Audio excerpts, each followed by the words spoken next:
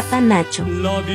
Ignacio Fernández Esperón, Tata Nacho, compuso cerca de 200 canciones, con las que le dio un toque muy mexicano a la música popular de los años 20, 30 y 40. En las comunidades indígenas se llama Tata, al abuelo, al patriarca, al más anciano de la casa. Este chamaco viejito llegó a ser uno de los grandes compositores de la música folclórica mexicana.